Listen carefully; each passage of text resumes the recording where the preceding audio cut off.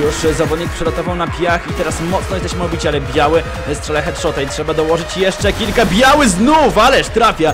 Biały na fali. Zobaczmy dalej, m, co z tego wyniknie e, u białego. Podniósł kałacha, kolejny headshot do białego, ależ to zrobił w tym momencie i będzie na ostatniego rywala. Zauważył go chyba od łącznika. Popatrzmy, co się dzieje. Biały będzie headshot biały, ależ to zrobił. Cztery fragi od białego. No niewiarygodne, co on strzelił. Także to jest to, o czym powiedziałem, że tutaj naprawdę wystarczy strzelać głowy i biały zrobił to najlepiej jak tylko mógł. Trzy piękne headshoty, dwa z pistoletu, później mm, jeden z kałacha i tutaj wystarczyło dobić rywala, ależ to biały zrobił.